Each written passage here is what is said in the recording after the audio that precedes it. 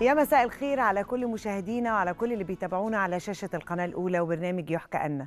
النهاردة بقى الحلقة مهمة جدا جدا جدا. للرجالة وللستات واللي مش عارفين لهم حلول. طول الوقت بنشوف على السوشيال ميديا مشاكل وعياط ومعاناة عن الاستغلال العاطفي. بنت قابلت الشاب اللي, اللي قالت فيه كل العلامات اللي تخليني أبقى أسعد واحدة في الدنيا. أول ما بيرتبطوا ببعض سواء راجل سواء ست. بس خلينا الأول نتكلم على الستات عشان أنا ست. آه اتعلقت بيه حبيته. آه قالت لك ده بيعاملني كويس جدا ده كان طاير بيا. ده في بداية العلاقة كان بيعبر الأنهار وبيتسلق الأشجار عشان يوصل لي وعشان أكلمه وعشان أنزل أقابله. يعني بصراحة الشباب بيعملوا مجهود والرجالة في البداية في البدايات perfect طب إيه اللي حصل يا بنتي؟ بعد كده فجأة تلاقي ظواهر وعلامات الاستغلال العاطفي. ليه راجل يرتبط بواحدة على هدف؟ أهو ده السؤال اللي يجنني وإن النهاردة هنتكلم فيه. يعني لما تكون أنت مثلا م target الهدف المصلحة. أقول لكم على حاجة الاستغلال العاطفي ممكن كمان آه خلينا الأول في المصالح. ممكن تبقى الست آه ذو مركز عالي آه يبقى هو عايز مثلا يشتغل في الشركة الفلانية فهي الوحيدة اللي ممكن توصله للشركة. فيرتبط بيها ويوهمها بالحب والخيال كله عشان يوصل للشغلانة للوظيفة. بعد ما يوصل للوظيفة الست مش موجودة. واحد تاني ممكن يكون هدفه آه الفلوس والمادة. والله لا دي عندها شقتها وعندها عربيتها وهقعد في بيتها وفلوسها حلوة. طب ما أنا أقف على كتفها. على بال ما أمر كده ويبقى مستواها كويس والدنيا تبقى لطيفة. طب ما الست عملت اللي عليها. وقفت جنبك ودعمتك وكانت سبورت ليك نفسيا وماديا وكل حاجة. فجأة تلاقي الست دي بعد سنين من العمر ده أول ما بقى معاه فلوس وأول ما ربنا إداله رماني في الشارع وما عبرنيش أو اتطلقنا أو عرف واحدة غيري أو اتجوز عليا. في الآخر بتحس إن هي مستغلة ماديا ونفسيا ومعنويا. راجل تاني خلاص مش بس الفلوس والوظيفة ممكن يكون هو خارج من علاقة مجروح فيها. خارج من علاقة هو مستهلك تماما. وعايز بقى اللي تغذيه تغذي مشاعره تخليه حيوي تاني تخليه يضحك تاني تخليه بيحب الحياة أكتر. فيتعرف على الست دي فيحس معاها بالأمان والحب والمشاعر فيتغذى عليها. أول ما يقف على رجله من أول وجديد الست دي ملهاش لازمة. نفسي أعرف المستغل ده اللي بيستغل الناس عاطفيا وماديا.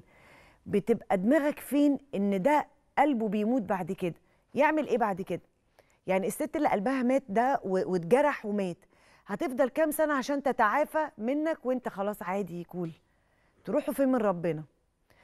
المهم تعالوا نشوف دلوقتي تقرير صورته كاميرا يحكى أن مع الدكتور وائل خفاجة استشاري الطب النفسي عشان نعرف منه أكتر السمات النفسية للشخصيات الشخصية دي شكلها إيه؟ اللي هو بيستغل غيرها عاطفيا. وإزاي أعرف إن أنا في علاقة في حد فيها بيستغلني عاطفيا أو ماديا وهل الشخص المستغل عاطفيا ده ينفع يتعالج أو تقويمه؟ يعني ولا هو متربي كده ولا هو مخلوق كده ولا ده عيب فيه جينات وراثية ما يعرفش نعالجه؟ يعني ينفع يتعالج ولا ما يتعالجش ولا نعمل معاه إيه؟ تعالوا نشوف.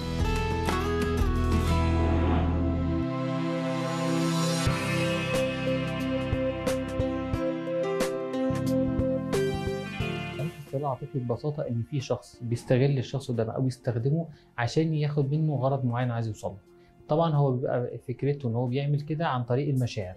فكرة المشاعر دي ممكن تبقى إعجاب ممكن تبقى حب ممكن تبقى صداقة. بغض النظر هو الشكل العلاقة إن هو بيستخدمه كنوع من المشاعر أو حتى ممكن يوصل الشخص إن هو عنده شعور بالذنب عشان يوصل الشخص للنتيجة اللي هو عايزها. في بعض الناس بيبقى عارفين إن الاستغلال ده هيبقى من آخر مزمن شوية. هياخد وقت معاه طويل. فده بيبقى على طول بيشد وبيرخي.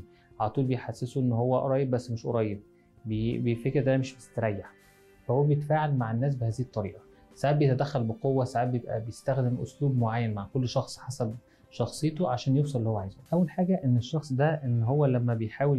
الشخص ده يطلب منه مساعدات أو استغلال بشكل بيحس إن هو متضايق إن هو مش سعيد. في ساعات بيحس إنه بيجي على نفسه بيحس إن هو بالضرر. لما بعد كده بي لما الشخص اللي هو مستغل بياخد مصلحته من الآخر يبتدي الشخص اللي هو وقع عليه الضرر يدور عليه يلاقيه اختفى مش موجود على طول اعتذارات مفيش أي نوع من ال- الالتزام الإحساس بالمسؤولية آه، بيلتزم ما بيلتزمش بكلامه فكر ساعات إن هو يهاجمه ساعات ممكن يبقى رد عليه شديد شوية ساعات بيبقى إن هو بيبعد معاه ساعات بي- بي- بيصدمه بفكرة مين قال لك إحنا أصحاب أو مين قال لك إحنا في بينا حاجة.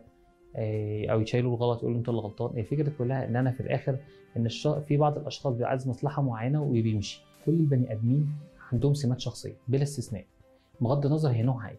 بس ساعات بيبقى في بعض الشخص الناس اللي عندهم سمات أكتر من الشخصيات النرجسية أو الش- الشخصية السايكوباتية هم اللي, عند... اللي عندهم القدرة أكتر. في ممكن بعض الناس يستغلوها بلا وعي. يعني فاكر الناس دي بتحبني فأنا عايز يعني حب هم مش لأ مش هعمل إيه. بيبقى زي ما بيسموه عشم. بس مش يعني هل أي حد ممكن يبقى عادي يعمل حاجة كده؟ آه نسبة بسيطة.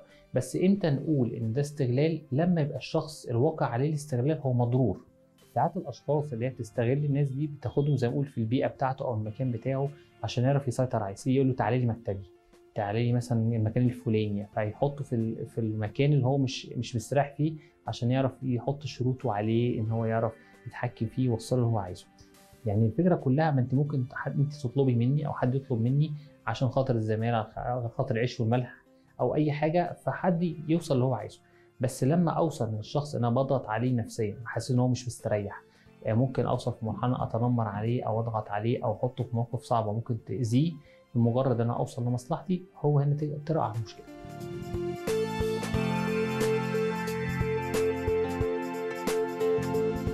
فكرة مرض هو ما أقدرش أقول أنا دي مرض دي سمات شخصية. فكلنا عندنا سمات شخصية.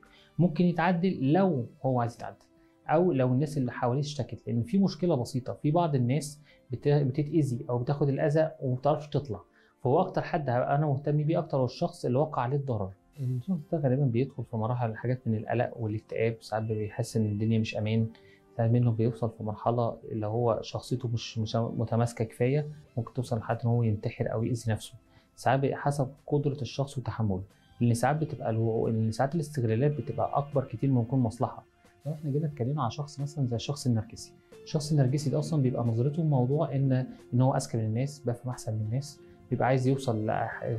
لأحسن حاجة هو شايف إن هو عنده قدرات أعلى. فساعات القدرات دي بتخليه إن أنا ما عنديش مشكلة ان اصير أي حاجة قدامي لمجرد أوصل للهدف اللي أنا عايزه. أنا محتاج إن الشخص اللي هو تم استغلاله نفهمه إن أنت أهم حد في الدنيا نفهمه إن أنت أهم حاجة ما تجيش على نفسك أهم حد في دنيتك هو أنت المفروض تبقى أنت أحسن وراضي سعيد.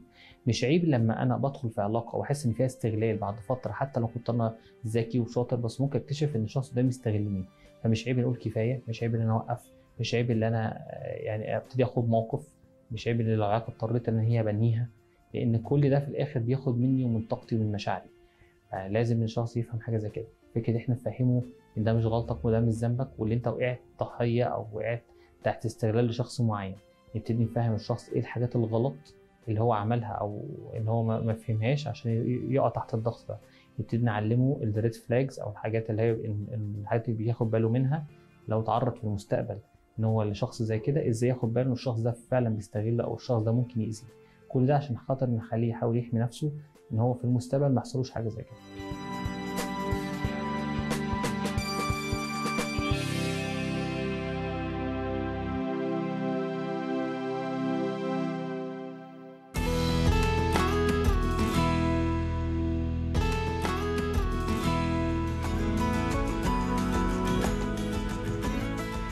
خلونا نرحب بضيفتنا الموجودة معانا في الاستوديو الأستاذة الكاتبة عزة سلطان. إزيك يا أستاذة عزة؟ إزيك أستاذة؟ إيه؟ الحمد لله كله كويس. الصعود على سلم الحب. آه، آخر مقال كتبتيه في الاستغلال العاطفي؟ ولا يعني اشهر وأنا- أشهر واحد؟ هي الفكرة إن أنا مهتمة آه. بتشريح العلاقات لأنه ده له تأثير كبير على حياتنا بشكل عام. طبعا طبعا. يعني كل العلاقات اللي إحنا يعني إحنا مش بنشوف علاقاتنا بشكل كويس. مم. عندنا ارتباك الارتباك ده تأثيراته بتبان. يعني مش واحد يعني لو في علاقة باظت حياة البني آدم ممكن تبوظ تتوقف شوية إنتاجه يقل. آه، فالعلاقات دي مهمة جدا إن إحنا نفهمها علشان نقدر نتقدم في حياتنا بشكل صحيح انت ون- بتقوليها بشكل بسيط ده العلاقات لما بتبوظ الناس بتعيا. أنا بشوف ستات عيت. بشوف ستات جالها السرطان بسبب حالتها النفسية. بشوف ناس خسوا خسوا خسوا جالهم اكتئاب حاد. بشوف ناس بتنتحر. بشوف بالظبط. ناس انت بتقولي بيقل كفاءته. ب- بشوف ناس ما ما بتشتغلش خالص. فقد إيه العلاقات دي؟ يعني دي اهم حاجة في حياتنا. بس إحنا عندنا مشكلة وعندنا ارتباك شديد جدا في فهمنا للعلاقات آه. وهم شكلين مثبتينهم. وعايزين نمشي عليهم. على الرغم إنه المتغيرات اللي بتحصل في حياتنا مم. تخلينا لازم كل شوية يعني كل شوية بأوقات قريبة نقعد نبص على العلاقات ونبص على شكلها ونبص على التغيرات اللي بتحصل علينا وعلى ثقافتنا آه. وعلى طريقتنا في التعامل مع الحياة وبالتالي لازم نغير طريقتنا كل شوية. مم. يعني ده أنا مش بقول إن إحنا ما بنحبش لأ بس هو الحب نفسه بياخد أشكال كتيرة. وإحنا إحنا يعني إحنا بنتكلم عن الاستغلال العاطفي إزاي بقى إنه الإنسان هو نفسه اللي بيخ... اللي بيحول نفسه إنه الآخر يستغله؟ طب قبل ما نحول نفسه اللي هو اللي بيحاول نفسه إن الآخر يستغله ده اللي هو الضحية. مم. يعني مين بقى الضحايا؟ يعني بيبقى شكلهم إيه؟ اللي هم الضحايا للمستغل اللي هو أنا اللي هم الضحايا المثاليين اللي هو أنا أهو جاهزة أهو تعالى استغلني. بيبقى أنا مين؟ العطاء المفرط. مفيش يعني دايما كل حاجة ليها حدود. يبقى رقم واحد الناس اللي بتدي قوي العطاء اللي بزيادة. اللي تاني حاجة المسافات القريبة بشدة. يعني إيه المسافات القريبة القرب القرب الشديد يعمي. يعني أنا لو قريبة من إنسان بشكل قوي بشكل قريب جدا مش هشوفه مش هشوف مشاكله مش هشوف عيوبه مش هشوف أخطائه في حقي. وبالتالي القرب الشديد ده بيخلينا نتجاوز عن حاجات مهمة لازم نقف عندها وهذا التجاوز بيخلي الآخر يتمادى. إحنا بنفوق بعد ما نلبس. آه يعني بس بس أنت بتقولي لي القرب الشديد. يعني أنا مثلا لو بتكلم على جوزي طب ما أنا طول النهار والليل قاعدة قدامه ومعاه. لا. مش القرب ال- القرب الشديد بمعنى إنه الناس بتلغي مساحتها الشخصية ب- ما بتشوفش حد غير شريكها. دي ده خطأ أغلب العلاقات بتقع فيه. مم. فتيجي البنت ترتبط فتروح جاية مفضية حياتها من صاحباتها عشان هم هيغيروا وهينفسنوا. وهو وكل ال... متهيألي آه، هو من- في الأول من شوية ضمن من ضمن العلامات للراجل اللي بيستغل ده إن هو بيقطع علاقاتك بكل اللي حواليك عشان تبقي فريسة. تبقي سهلة والست بتعمل كده بس هو الراجل الراجل أكتر الراجل ما بي يعني الراجل بيعرف يفلت من ده عشان مجتمعه عشان والقهوة وال آه. يعني عندهم شوية تفاصيل لكن الست. بقى أنا ما عنديش الست بتجري ستات بسرعة. تقعد على كافيهات ما عنديش ستات تخرج مع أصحابها أنا ما عندي يعني أقصد أيوه ما هي الست اللي بت... اللي بتقدم التنازلات دي هي بتبقى الفريسة الأول يبقى إحنا هي عايزين هي بالمناسبة آه. هي مشاركة مم. في كونها فريسة آه يعني أنا دلوقتي لو لو في بنت لو اتنين بيرتبطوا وقال لها أنا مش عايزك. مش عايزك تعرفي فلانة. ليه؟ لا هي ما بتناقشش. مم. وبعدين يعني الستات مستعدة في في إطار العلاقة العاطفية إنها تضحي بالعالم كله من أجل الحبيب. تمام حلو زي الفل. مش كلنا بنعمل كده يا عزه يعني في مش كلنا الغالب بنعمل كده يا في جدعان الغالب في طيب الغالب. ما كلنا بنعمل كده. ما أنا أول ما بحب ببقى الدنيا كلها ده بقى من الاخطاء آه. دي أخطاء. مم. يعني إحنا ليه الناس بتتوجع قوي وليه بتبقى فيه كوارث بعد كده؟ لأنه آه، التضحية بكل شيء عشان شخص واحد آه. من غير موازنة. مم. يعني أنا ما بقولش ما تحبش وما بقولش ما تقربش قوي وكل الحاجات اللطيفة دي بتاعت البدايات وبعد البدايات بتخلص. خلينا بس يعني إيه طيب لكن هي بتقفل على نفسها. إحنا عايزين بس نبقى إيه جوه قالب مواصفات الضحية. عشان نبقى عارفين الضحايا نبقى عارفين نفسنا كلنا ضحايا. نبقى عارفين نفسنا كده وإيه وشايفين قدام المراية. مواصفات الضحيه اللي هو أنا ببقى سهلة إنه يجي يستغلني. رقم. واحد بصي يا عز أنا عايزاكي تديها لي كده العطاء؟ رقم واحد العطاء الزيادة. فكده يستغلني عشان أنا بدي بزيادة. رقم اتنين. ما في انعدام المساحة الشخصية. آه إن أنا ما عنديش مساحة لنفسي ف فأعداله هو فاعمل ما بدالك. مش بس كده. يعني بالمناسبة ده تأثيره سيء على الطرفين. آه. لأن هي بتفضله بقى أيوة. ملهاش حاجة غيره. فبيتخنق منها في الآخر. طبعا وبيسيبها. بس مش عايزين نروح للحتة دي إحنا لسه في الضحايا. شكل الضحية إيه؟ ها؟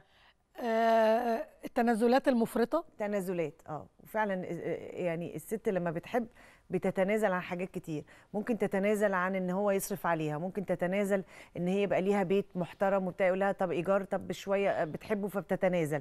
ممكن تتنازل عن إنه حتى ساعات أنا بشوف ستات راكب عربيتها ورايح بيها للشغل وأصحابه وهي نازلة تاخد تاكسي فاللي هو مش عايزة أحرجه فبتتنازل. بتتنازل بتتنازل فده اللي بيخليها ضحية أكتر للمستغل. هي بس يعني أنا عندي دايما مقولة كده إنه أي علاقة مم. توصل لنتيجة الطرفين مسؤولين عن النتيجة دي. تمام. يعني مش ما يعني الاستغلال مش بالضرورة مم. ان المستغل يكون رجل وال والمستغلة تكون ست. لا ما ممكن في يعني راجل في بيبقى ضحية. بالظبط. بنشوف كتير رجالة أنا لسه من حلقتين راجل بيتصل بيا وبيبكي إن هو ضحية. إن أنا حبيت سنين وسنين واديت وجبت وعملت. فيعني لا ستات أو رجالة بيبقوا ضحايا. بالظبط كده. فأي نتيجة بنوصل لها مم. دي مسؤولية الطرفين. مم. هي بقى اتنازلت فهو استغلها فده منطق على فكرة ده طبيعي. يعني هي مسؤولة برضه. آه طبعا. مم. يعني هو دلوقتي لما تفتحي كل بيتك ويجي يدخل حرامي يسرقك مم. هنقول إن هو الغلطان؟ هو أنت فاتحة كل حاجة سايبة كل حاجة بلا رقابة بلا أمان وبالتالي تيجي تعيطي بعد كده إنك اتسرقتي؟ لا مش منطقي يعني. فهي يعني الشخص اللي اللي هو عنده استعداد ومؤهل إنه يستغل ما ده جزء منه نفسي. مم. إن إحنا بنبقى مؤهلين إن إحنا نستغل. تحت شعارات كبيرة بقى. إنه ده الحب. هو بيغير عليا. اصلها بتغير. أصل هو مهتم. أصل فلانة دي وبعدين في مداخل. مم. آه، صاحبك عكسني فيقاطع صاحبه. ويعني وان كانت شوية العلاقات بين الرجالة مختلفة عن العلاقات بين آه. الستات إنما ده مدخل من المداخل إنها تقطع علاقاته بأصحابه. أو يقطع علاقتها بأصحابها. فجأة بيبقوا مفردين. مم. ففي الوقت الكتير اللي الطرف بيمنحه للتاني ده ده بيخليه خلاص هو مناعته بتضعف مقاومته بتقل. طيب إحنا اتكلمنا عن الست اللي بتستغل. هنروح بعد الفاصل هنتكلم على الراجل الضحية. الراجل اللي الست بتستغله. مواصفات الراجل الضحية ده إيه؟ وإزاي الست بتعرف تدخله عشان تستغله وتخليه ضحية؟ خليكم معانا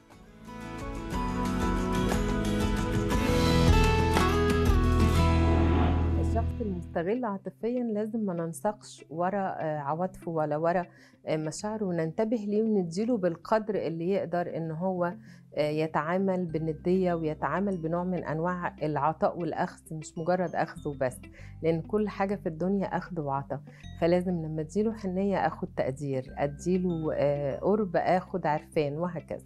أما مسألة الاستغلال العاطفي أو الابتزاز العاطفي أو آه، زي ما بنقولها الحرمان العاطفي ده بيرتبط بمدى احتياج الطرف الآخر وعشان كده بيحصل ساعات يبقى حد طارج خرج من أزمة أو من صدمة على طول يجي طرف آخر خبيث شوية يستغل الحتة دي ويبتدي يبتزه عاطفيا. الاستغلال العاطفي زيه زي أي استغلال. إن أنا أشوف إن اللي قدامي عنده إمكانيات معينة وأنا أحاول أستنزف هذه الإمكانيات وأحاول إن أنا أستغلها بكل الطرق.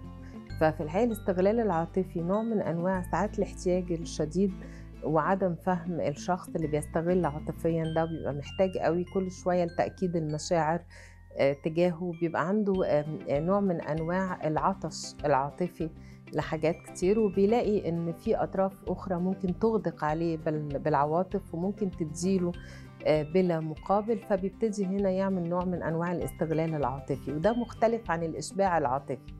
الإشباع العاطفي إنه إنسان بيكون عنده احتياج لعواطف معينة سواء من الحب أو الحماية آه، أو الأمان أو الاستقرار وبيحاول إن هو يبحث عن الشخص أو المكان اللي ممكن يديله ده وبيحقق له نوع من أنواع الإشباع آه، العاطفي. أما عملية الاستغلال فهو شخص بيبتدي يلعب على مشاعر الآخرين ويستغلهم ويراوغ في كيفية استغلال المشاعر ودايما بيكون عنده منطق إن هو إزاي ياخد مش إزاي يدي. آه، مظاهره إن أنا بستغل نقط الضعف اللي عند الآخرين سواء كان الآخرين دي أم أو زوج أو حبيب أو أي شخص مهما كان آه، أول ما أحس إن أنا قادرة أستدر عطفه وقادرة إن أنا أستغل مشاعره وقادرة إن أنا أستغل عواطفه وأعمل على هذا الاستغلال فده نوع من أنواع الاستغلال العاطفي.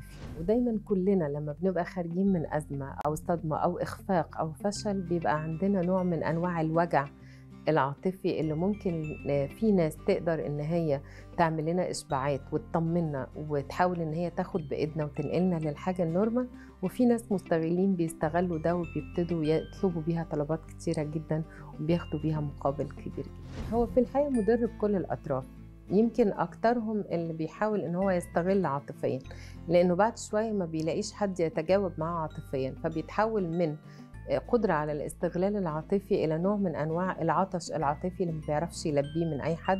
لأن أغلب المقربين منه بيبتدي آه، يب- يبعدوا عنه وبيبتدوا ما يحققلوش الرضا حتى العاطفي. كمان مضر على الشخص اللي بيدي. لأن بعد شوية بيحصل له نوع من أنواع ال- ال- الصدمة. آه، فده بيخليه إن هو مش قادر يدي عواطفه حتى لحد يستحقها. فبيبتدي يبقى حريص جدا في إعطاء العواطف أو المشاعر أو الحنية فيأذي نفسه لأنه مش قادر يستمتع بمتعة العطاء وفي نفس الوقت بيأذي الآخرين لأنه مش قادر يستفيد منه. لا الحب إيجابي إن أنا أعلم اللي قدامي إن لازم يدي. فشوية أنا أبقى أكثر آه، قدرة على إخفاء هذا العطاء. الحاجة التانية هل هذا مدمر؟ لا مش مدمر بالعكس ساعات بيبقى علاج. ساعات بيبقى علاج للطرف اللي قدامي عشان ينتبه وعشان يبتدي هو كمان ياخد ويدي. آه، فهنا التوازن في العلاقات الإنسانية هو أساس العلاقات الإنسانية الناجحة. فهنا ساعات بفرمل اللي قدامي ليه عشان يعمل توازن عشان الطرف الآخر يشعر إن هو بياخد حاجة لأن التعود على الأخذ بيخلي الإنسان مش فارق معاه إن هو بياخد ولا ما بياخدش لغاية لما ينتبه ال- السيل ده وقف فيبتدي يدور عليه.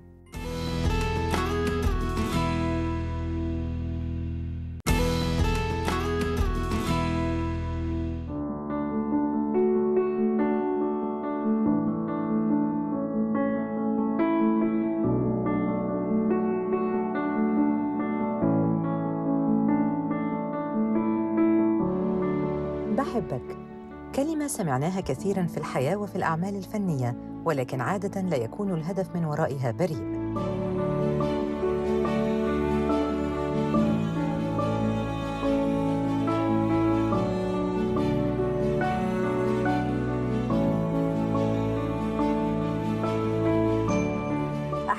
يكتب المؤلفون كلمات الحب لتعبر في سياق الدراما عن الابتزاز العاطفي. فعلى مر السنوات عالجت السينما في أفلامها ظاهرة الاستغلال العاطفي سواء بصورة مباشرة أو غير مباشرة. شاهدنا ذلك في فيلم زقاق المداء عندما تعرضت بطلة الفيلم شادية للتلاعب بمشاعرها على يد يوسف شعبان الذي أوهمها بالحب وقام بجرها إلى حياة جديدة أنستها الزقاق وأهله. وان عينيكي أجمل عينين في الدنيا. إحنا إحنا هنستنى هنا كتير. لحد ما نتعرف بعض كويس. انت خايفة يا روحي؟ وهخاف منك ليه؟ حميدة. أنا قلبي في طريق أنت يا حميدة. وعمر قلبي ما كدب عليا.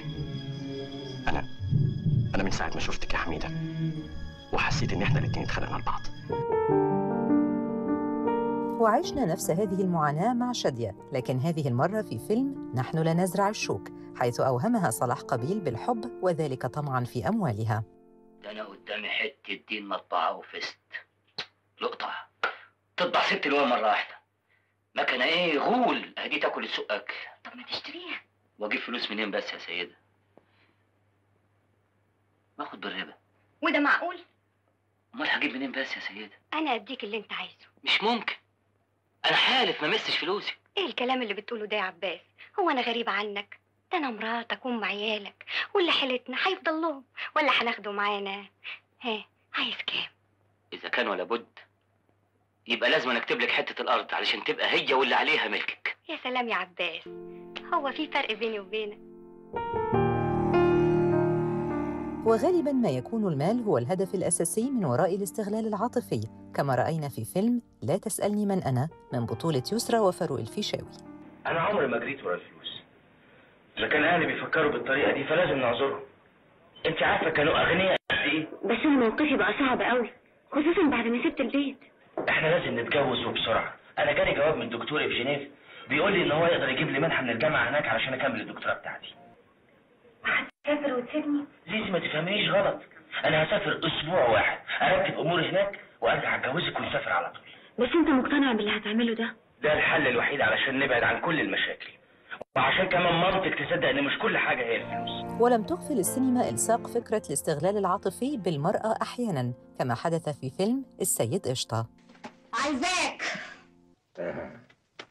جمالات مراتي. قلت لك هو أنا عايزاك. طيب طيب.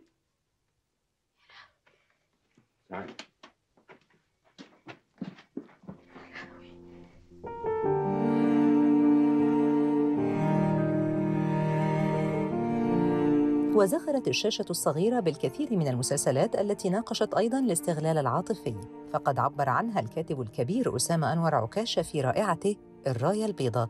من خلال شخصية الصحفية أمل صبور التي قامت بتجسيد شخصيتها النجمة سمية الألفي. بالإضافة إلى مسلسلات أخرى مثل الحاوي والتوأم ولن أعيش في جلباب أبي وعائلة الحاج متولي وغيرها من المسلسلات.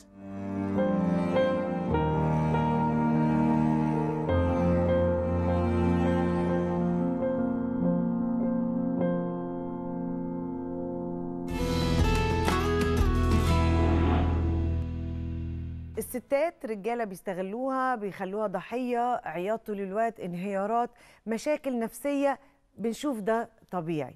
لكن آه، الراجل بقى اللي يشتكي ويقول أنا الضحية أنا راجل آه، استغليت. فعايزين نعرف برضو إيه شكل الرجالة مواصفات الضحية ده إزاي الست بتعرف تدخله و- و- وبتستغله سواء بتستغل فلوسه أو بتستغل منصبه أو بتستغل إن هي تبقى عايشة حياة. إحنا بنشوف ساعات ستات هي بتعيش يعني حياة وأهلها يعني يعني عارفة بيعمل لها upgrade لمستواها هي وعيلتها كلها يعني بس مبدئيا مش كل ال upgrade. اللي بيحصل لطرف مم.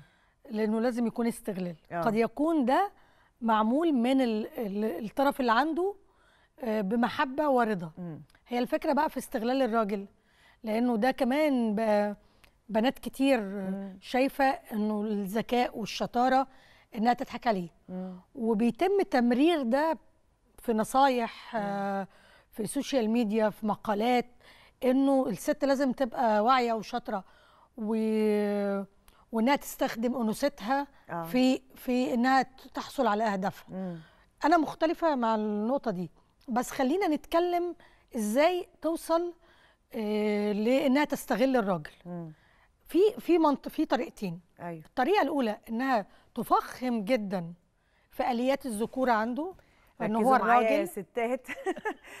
طريقة استغلال الراجل. طبعا إحنا بنرفضها بس إحنا بنشرحها. خليكم معايا ركزوا أيوة. إيه بقى؟ ربنا يستر. آه نعمل لهم إيه بقى؟ قولي لي بقى. في في طريقتين. في طريقة إن هي بتفخيم الرجل آه. ودعم فكرة الكرم وإن هي ملهاش غيره و... وده بقى ب- ده توجه موجود عند بنات كتير صغير يعني شفت أجيال. صغيره آه. وهو اللي ليها وأنا لأ ما أعرفش أعمل حاجة من غيرك. ألاقيه بيقول ف- لي دي ما بتعرفش تنزل الشارع هتوه أيوه بينزل يجيب هتوه اللي بتوه دي عندها 30 سنة. أقول له تتوه إزاي؟ يقول لي آه ما بتعرفش تعمل حاجة من نفسها خالص حتى لو دخلت سوبر ماركت ما بتعرفش تشتري الحاجات. قلت ذكية وناصحة. الست دي ذكية وناصحة. أيوه. وتلاقيه قد إيه هو مصدق على فكرة. أيوه ما هي خلاص هي ما بتعملش حاجة مصدق. من غيره. آه. جزء من فده المسألة ده بيرضي غرور الراجل. ده بيرضي غروره. فبيرتبط بالست أكتر. وبيخليه طبعا طول الوقت بيقدم كل حاجة. مم. آه اللي هو أنا لو لو هي تبع المشكلة البرومبا. المشكلة في الاستغلال المشكلة الحقيقية إنه بيبقى في طرف بيفكر وبيخطط في العلاقة. آه. الم... لكن الطرف التاني بيكون بيتعامل بمشاعره. آه. علشان كده بتيجي من هنا فكرة إنه الاستغلال أمر سيء. مم. لأنه في مقارنة غير صحيحة. في حد بيفكر ويخطط وحد صح كده. بيتحرك. في حرب في حرب مش نظيفة. في بالظبط. حرب مش نزيهة. يعني مش معقولة بقى بداخله بخطط وبعمل ما إحنا لو بنخطط زي بعض يبقى إحنا كده في معادلة. زي زمان يقول لك أنا دلوقتي في حرب شغالة أنا بضرب بدبابات وصواريخ واحد تاني واقف بيضرب بسكينة.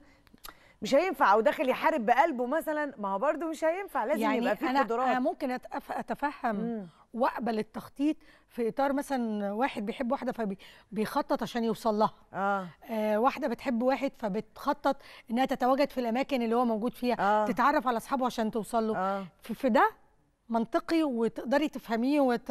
وتمرريه.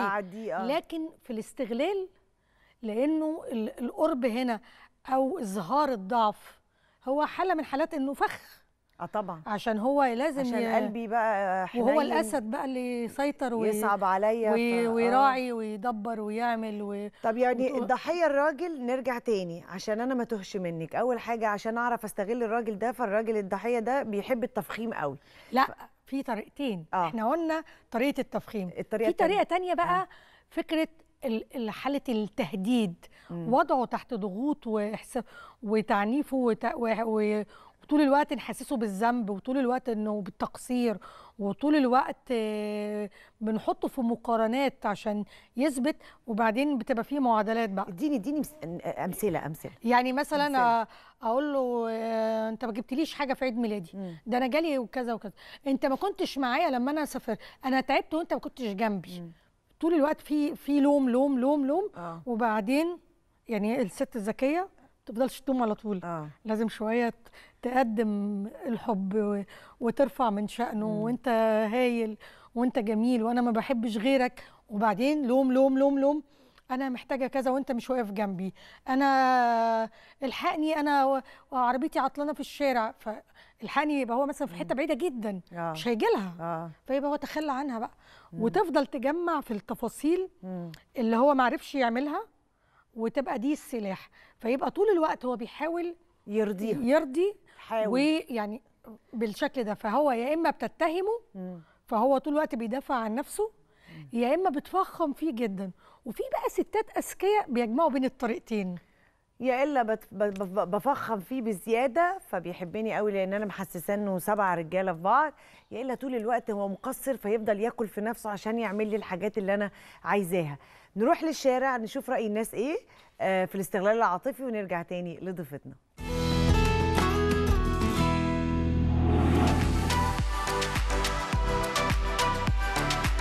لا هو كان في واحد صاحبي حد استغله عاطفيا وبتاع واستفزه في فلوس وكده. هو كان بيحب واحدة والكلام ده كله هي خدت فلوسه وخدت حاجته واتجوزت واحد غيره. الاستغلال العاطفي مش بس بيكون من من من قبل زي بارتنر أو كده ممكن يكون من الأهل من الأصدقاء من أي حد هو مش مش direct قوي في معاكي في ال في الهدف اللي هو عايزه. مفيش مفيش goals محددة معاكي في ال- في دي. لا هو عامة الحالات كلها بتبقى بتتعرض على ال social media على آه، صفحات آه، دعم نفسي وصفحات المشاكل يعني وكده. بس أما أنا حد قريب مني ما ما أعتقدش. كان خطيبتي. كان آه، مامتها كانت مسيطرة عليها جامد قوي فكانت بتستغلني علشان أدفع فلوس كتير. اللي أنا كنت مرتبط بيها كنت مرتبط بيها من بقالي سبع سنين. مش حتة استغلال بس اللي أنا كنت مضيع كل فلوسي عشان أكيد طبعا اتعرضت لأكتر من موقف. وشفت أكيد طبعا المجتمع مليان حاجات كتيرة جدا فيها استغلال عاطفي سواء من أصدقاء سواء من حبيبة سواء من أي حاجة. آه، أنا عم بحكيك أكيد عن تجربة يعني طبيعي أكيد آه، حصلت كتير وبتحصل بالمجتمع إذا مش أنا آه، أولادي آه، جيراني. فهذا الشيء عم بيصير للأسف بسبب الظروف اللي نحن فيها. واحد صاحبي مثلا كان اللي هو كان بيحب واحدة كان بيحبها جدا يعني وبتاع وكان ناوي يتقدم لها وكده. وهي كانت اللي هي كان الكلام إن هو موافقة وقايلة لمامتها عليه وبتاع. وموافقة. جه بعد كده بقى ابتدت تطلب منه فلوس كل شوية. وهم لسه أصلا ما ارتبطوش أو اتخطبوا أو أي حاجة. بيبقى مثلا حد بيستغل حب حد ليه بيحاول إن هو يكسب منه على أكبر مكسب يحققه لنفسه وبعدين التاني بيتصدم.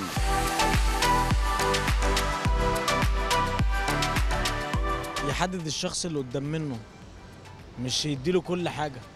لأن في ناس بتاخد أكتر من مساحتها ف بت- بتاخد أكتر من وضعها. والله على حسب الهدف يعني الهدف هو بيخلي أي حد آه، ممكن يعمل كده. ممكن يكون أصلا شخص مش مش مستغل عاطفيا أصلا بس بس هو الهدف بتاعه خليه ممكن يعمل أي حاجة عشان يكون كده. لا هو المفروض إن هو يبعد يعني المفروض إن يشوف إن في استغلال آه، حاجة زي كده يبعد. دي ما فيهاش تعامل دي يبقى بيني بقى وبين ربنا. هي ما رضيتش بحاجة زي كده واستغلتني لحد ما صرفت كل فلوسي عليها وفي الآخر راحت لحد غيري ما لهاش تعامل والله الإنسان الأول يتصرف بال- بالتصرفات ال- اللي هي ال- بالأصول الأول وبعد كده بيبدأ إن هو ينهي أي علاقة. يستغله هو. يبادله. كما تدين تدان. يعني يشتغل معه هيك ما يعرفه ويصير هو يستغله لمصلحته.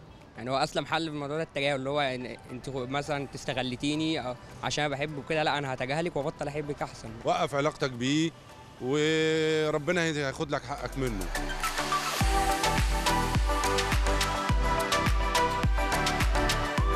هي الست اللي بتستغل ال... وفي رجالة. أنا شايفة بنسبة كبيرة إن الرجالة ال- كذا حد كده بس يعني آه، هم اللي بيستغلونا عاطفيا أيوه. أنا شايف برضو اللي بيستغل عاطفيا أكتر الرجاله أنا شايف إن الرجالة بتستغل عاطفيا أكتر. بصراحة من غير مبالغة آه، هو الستات. الستات. دايما الست بتفكر إنه أنا بدي أعيش مثل رفيقتي وجارتي وخالتي والغيرة. فهي الغيرة مش موجودة عند الرجال. يعني الرجال قليل ما يغاروا من بعضهم بس الستات بيغاروا من بعضهم. تقريبا إنه ممكن أعتقد خم... نسبة 50% ل 50% سواء من الرجالة أو من الستات. اللي هو عامة هي بتبقى مش هتفرق راجل أو ست هي بتبقى على حسب التربية. ايا كان نوع الاستغلال مش متعلق بجنس سواء راجل أو ست. هو دايما متعلق بالتركيبة وال- وال- والنشأة بتاعت الإنسان.